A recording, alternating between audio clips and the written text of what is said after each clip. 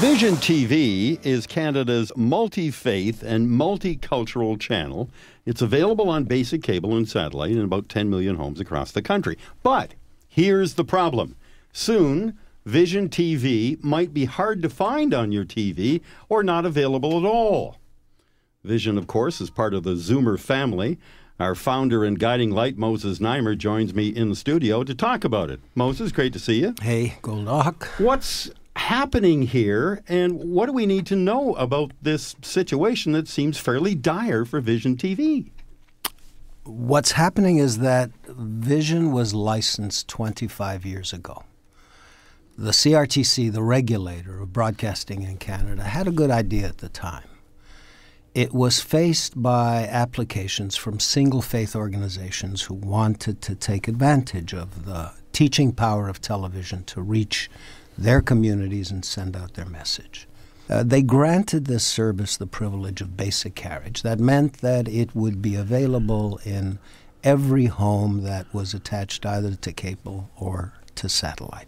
Um, and with the expiry of these basic carriage rules, the people who own the hardware and most of the software are now in a position to move us around or take us off for all matter of reasons, uh, willful or otherwise. They just have the power to do that. Well, they have their own stuff that they would want to put there. Well, in, in, exactly, in, because basic is very good real estate. Uh, Vision is also the least expensive, most efficient service, um, really on yeah. television, because Vision actually only gets, regardless of what people are charged, 12 cents for each subscriber a month. So it costs uh, less than a buck and a half a year to have Vision. So the packages under this system would we would no longer be on basic cable, as it were, should this happen, right? And we would wind up somewhere else on some other package, or in, would we, in, in could hard, we disappear altogether? We could, because according to this new incarnation of the rules, the operators involved could do what they wanted with us. Literally. Take it or not take it, for and, example. And that's a hell of an uncomfortable way in which to live. Yeah. So, uh, where we find ourselves today is that we are attempting to negotiate renewals of our contracts with the various carriers, and generally speaking, they've been elusive. And they've been elusive because the matter is not quite settled.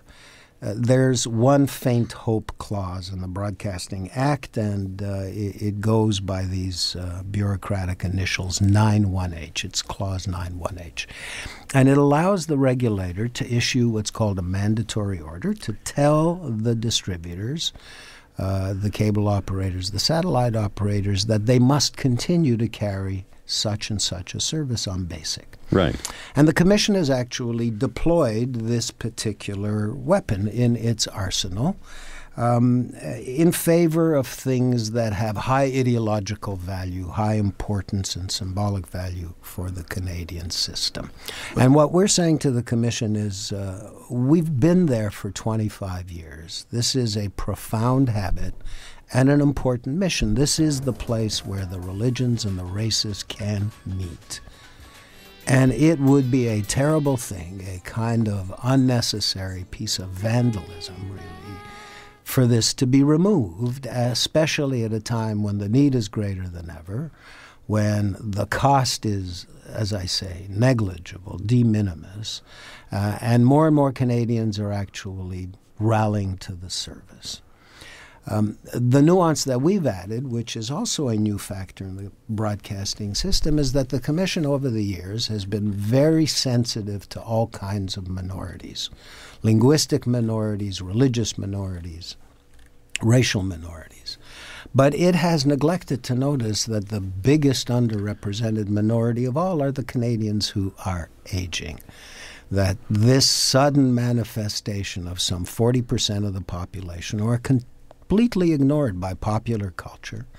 And because commercial operators, you know, chase advertising, which is targeted at 18 to 34s and 25 to 54s, generally speaking, there is not another service that not only attracts older viewers, but speaks to them and ultimately for them. That's the mission of our organization. And vision is a hugely important instrument in that fight. But, but let, let, me try to complicate it further sure, so I can understand it and people can understand it. Yeah. So the, the CRTC, in the best possible terms for vision, would issue this mandatory order to make the, the service mandated across the country. But what as to position? Those are two different things, aren't ah, they? There's a million ways in which we can be both helped and hurt by a distributor. Yeah. A distributor who likes a service and thinks they can make a lot of money off a service will market the service on their own they will give it a more favorable channel position. Uh, but we're talking about an even more drastic way in which a distributor can uh, hurt us, which is to say, they can either remove us or they can put us into different packages which could reduce our access to the public by an infinite amount, literally. It could go down to half as much, it could go down to mm-hmm. 10% as much. Assume for a moment um, that the CRTC mandates the service that it would be carried, that, right. that carriers do have to carry it. Yeah. But is there any tool the CRTC can use to say, keep it where it is now? There doesn't seem to be any.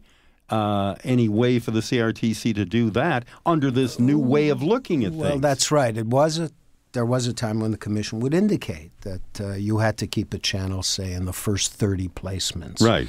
Uh, generally, that regime has faded away. And as I say, uh, all of this kind of drive to deregulation in the name of the market uh, always pretends that people behave rationally.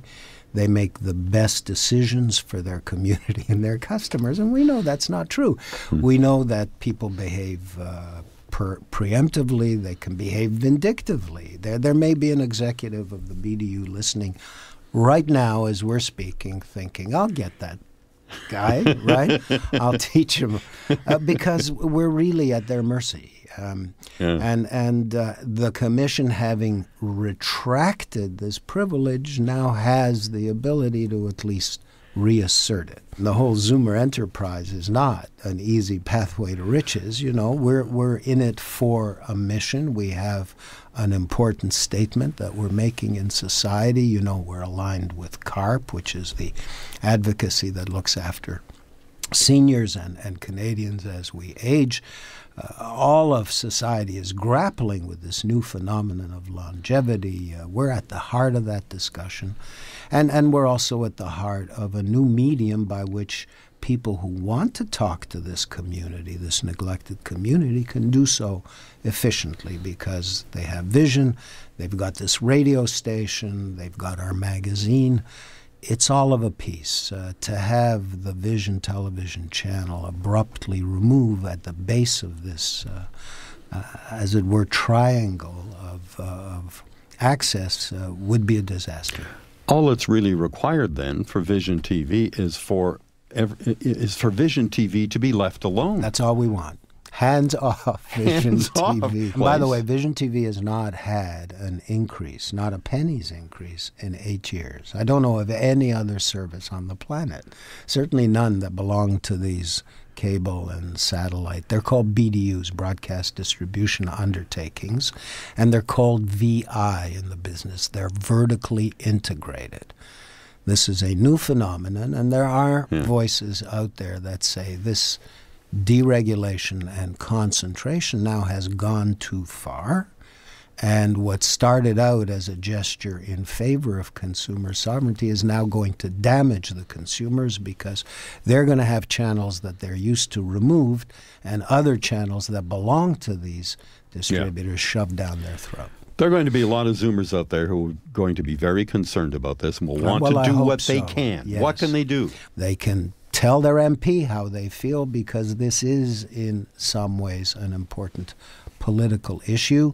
And if they are uh, deeply engaged with their own faith group, they really should be speaking to their local faith uh, minister, priest, uh, imam, uh, uh, and and getting them engaged because we have been an important vehicle this year to some 90 different faith groups who could in no other way get their story out to the Canadian public on a national basis at a reasonable price. There w- there's simply no other medium of doing it.